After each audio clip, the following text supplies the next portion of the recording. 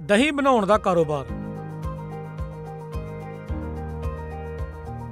ਦਹੀਂ ਅਤੇ ਦੁੱਧ ਪ੍ਰਾਚੀਨ ਕਾਲ ਤੋਂ ਹੀ ਭੋਜਨ ਦਾ ਹਿੱਸਾ ਰਹੇ ਹਨ ਅਤੇ ਇਸ ਦਾ ਕਾਰੋਬਾਰ ਵੀ ਬਹੁਤ ਪੁਰਾਣਾ ਹੈ। ਦਹੀਂ ਦੀ ਵਰਤੋਂ ਹਰ ਘਰ ਵਿੱਚ ਕੀਤੀ ਜਾਂਦੀ ਹੈ ਅਤੇ ਇਸ ਵਿੱਚ ਕੈਲਸ਼ੀਅਮ ਅਤੇ ਪ੍ਰੋਟੀਨ ਅਤੇ ਵਿਟਾਮਿਨ ਪਾਏ ਜਾਂਦੇ ਹਨ। ਦੁੱਧ ਦੇ ਮੁਕਾਬਲੇ ਦਹੀਂ ਬਹੁਤ ਸਿਹਤਮੰਦ ਹੈ ਕਿਉਂਕਿ ਇਸ ਵਿੱਚ ਦੁੱਧ ਨਾਲੋਂ ਜ਼ਿਆਦਾ ਕੈਲਸ਼ੀਅਮ ਹੁੰਦਾ ਹੈ। ਇਸ ਤੋਂ ਇਲਾਵਾ ਦਹੀਂ ਵਿੱਚ ਪ੍ਰੋਟੀਨ, ਲੈਕਟੋਜ਼, ਆਇਰਨ, ਫਾਸਫੋਰਸ ਪਾਇਆ ਜਾਂਦਾ ਹੈ। ਇਹ ਨਾ ਸਿਰਫ ਖਾਣੇ ਦਾ ਸਵਾਦ ਵਧਾਉਂਦਾ ਹੈ, ਸਗੋਂ ਦਹੀਂ ਤੋਂ ਕਈ ਪਕਵਾਨ ਵੀ ਬਣਾਏ ਜਾ ਸਕਦੇ ਹਨ। ਇਸ ਦੀ ਮੰਗ ਬਾਜ਼ਾਰ ਵਿੱਚ ਹਮੇਸ਼ਾ ਰਹਿੰਦੀ ਹੈ ਅਤੇ ਇਸ ਨਾਲ ਜੁੜੇ ਕਾਰੋਬਾਰ ਵੀ ਕਾਫੀ ਮੁਨਾਫਾ ਕਮਾ ਸਕਦੇ ਹਨ। ਆਓ ਜਾਣਦੇ ਹਾਂ ਇਸ ਕਾਰੋਬਾਰ ਵਿੱਚ ਵਰਤੇ ਜਾਣ ਵਾਲੇ ਕੱਚੇ ਮਾਲ ਬਾਰੇ। ਦੁੱਧ ਅਤੇ ਦਹੀਂ ਦੇ ਬੈਕਟੀਰੀਆ ਕਲਚਰ ਦੀ ਵਰਤੋਂ ਕੱਚੇ ਮਾਲ ਵਜੋਂ ਕੀਤੀ ਜਾਂਦੀ ਹੈ। ਅਤੇ ਵੱਡੀ ਮੰਡੀ ਨੂੰ ਕਵਰ ਕਰਨ ਲਈ ਪੌਲੀ ਪਾਊਚ ਜਾਂ ਕੱਪ ਪੈਕਿੰਗ ਵਜੋਂ ਵਰਤੇ ਜਾਂਦੇ ਹਨ।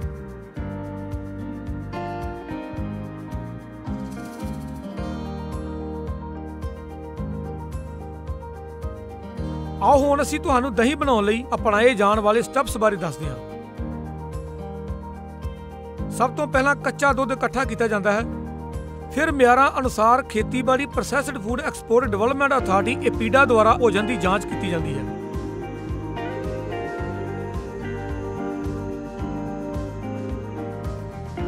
ਫਿਰ ਇਸ ਦੀ ਚਿਲਿੰਗ ਪ੍ਰਕਿਰਿਆ ਦੀ ਮਦਦ ਨਾਲ ਠੰਡਾ ਕੀਤਾ ਜਾਂਦਾ ਹੈ।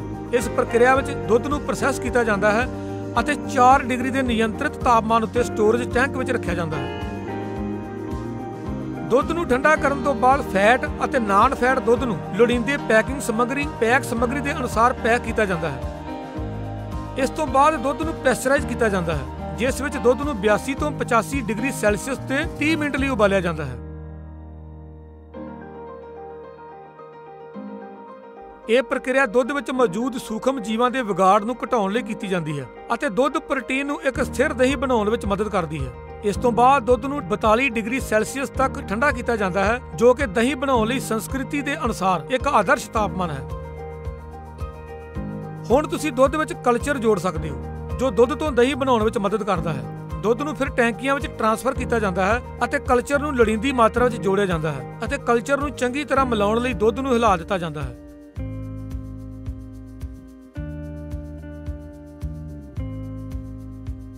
ਹੁਣ ਇਸ ਮਿਕਸਡ ਦੁੱਧ ਦੀ ਪੈਕਿੰਗ ਕੀਤੀ ਜਾਂਦੀ ਹੈ।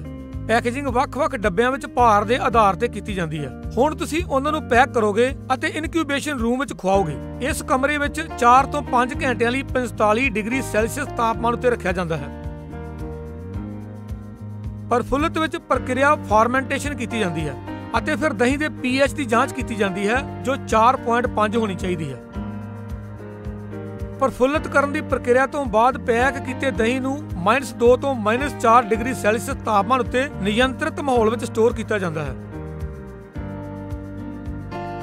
ਇਹਨਾਂ ਨੂੰ 1 ਤੋਂ 2 ਘੰਟੇ ਤੱਕ ਸਟੋਰ ਕਰਨ ਤੋਂ ਬਾਅਦ ਇਹਨਾਂ ਦੀ ਪੀਐਚ ਅਤੇ ਗੁਣਵੱਤਾ ਦੀ ਜਾਂਚ ਕੀਤੀ ਜਾਂਦੀ ਹੈ ਅਤੇ ਇਸ ਦੀ ਮੰਗ ਅਨੁਸਾਰ ਬਾਜ਼ਾਰ ਵਿੱਚ ਸਪਲਾਈ ਕੀਤੀ ਜਾਂਦੀ ਹੈ।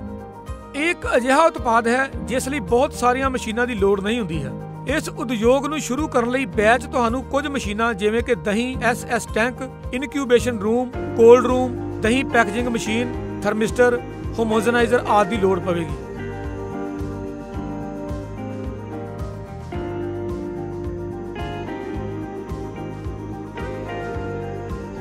ਇਸ ਯੂਨਿਟ ਨੂੰ ਸ਼ੁਰੂ ਕਰਨ ਲਈ ਤੁਹਾਨੂੰ ਲਗਭਗ 1500 ਵਰਗ ਫੁੱਟ ਜ਼ਮੀਨ ਦੀ ਲੋੜ ਹੋਵੇਗੀ।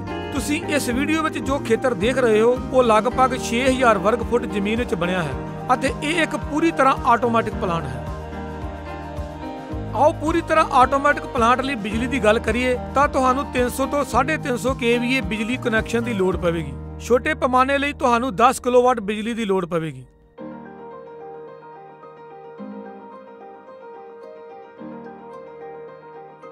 ਛੋਟੇ ਪੱਧਰ ਉਤੇ ਪਲਾਂਟ ਸਥਾਪਿਤ ਕਰਨ ਲਈ ਤੁਹਾਨੂੰ ਲਗਭਗ 7 ਤੋਂ 8 ਮੈਨ ਪਾਵਰ ਦੀ ਲੋੜ ਹੋਵੇਗੀ ਅਤੇ ਪੂਰੀ ਤਰ੍ਹਾਂ ਆਟੋਮੈਟਿਕ ਪਲਾਂਟ ਲਈ ਤੁਹਾਨੂੰ ਲਗਭਗ 65 ਤੋਂ 70 ਮੈਨ ਪਾਵਰ ਦੀ ਲੋੜ ਹੋਵੇਗੀ, ਜਿਸ ਵਿੱਚ ਹੁਨਰਮੰਦ ਅਤੇ ਅਕੁਸ਼ਲ ਲੇਬਰ ਮੈਨੇਜਰ ਵਾਧੂ ਸ਼ਾਮਲ ਹਨ।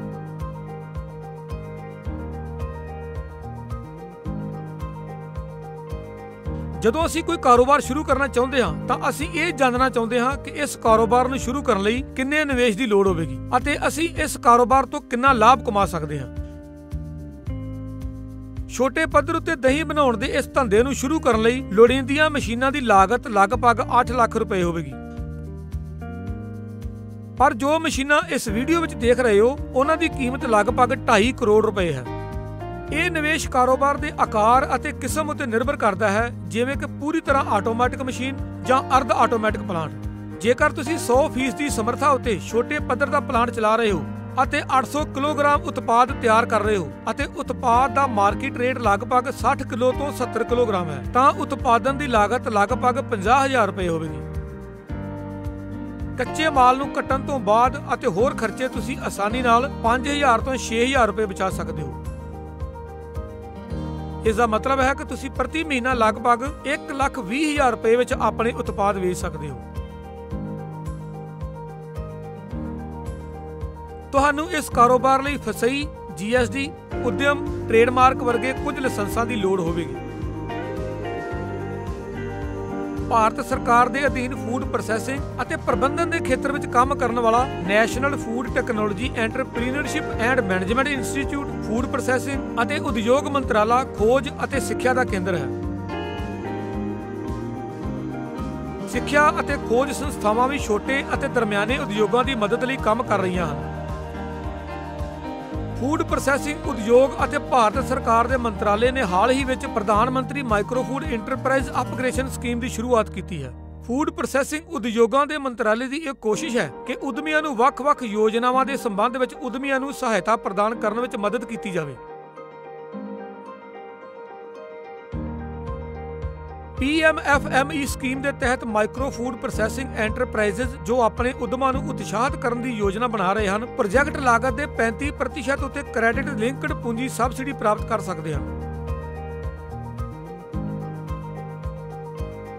ਵੱਧ ਤੋਂ ਵੱਧ ਸਬਸਿਡੀ ਪ੍ਰਤੀ ਐਂਟਰਪ੍ਰਾਈਜ਼ 10 ਲੱਖ ਰੁਪਏ ਤੱਕ ਹੋ ਸਕਦੀ ਹੈ। ਲਾਭਪਾਤਰੀਆਂ ਦਾ ਯੋਗਦਾਨ ਵੱਧ ਤੋਂ ਵੱਧ 10% ਹੋਣਾ ਚਾਹੀਦਾ ਹੈ ਅਤੇ ਬਾਕੀ ਰਕਮ ਬੈਂਕ ਤੋਂ ਲੋਨ ਹੋਣੀ ਚਾਹੀਦੀ ਹੈ। ਇਹ ਸਕੀਮ ਪੂੰਜੀ ਨਿਵੇਸ਼ ਲਈ 35% credit linked grant FPO SHG ਉਤਪਾਦਕ ਸਹਿਕਾਰੀ ਸੁਭਾਵਾਂ ਦੇ ਨਾਲ ਸਮੁੱਚੀ ਮੁੱਲ ਲੜੀ ਦੇ ਨਾਲ ਸਹਾਇਤਾ ਪ੍ਰਦਾਨ ਕਰੇਗੀ। ਧੰਨਵਾਦ।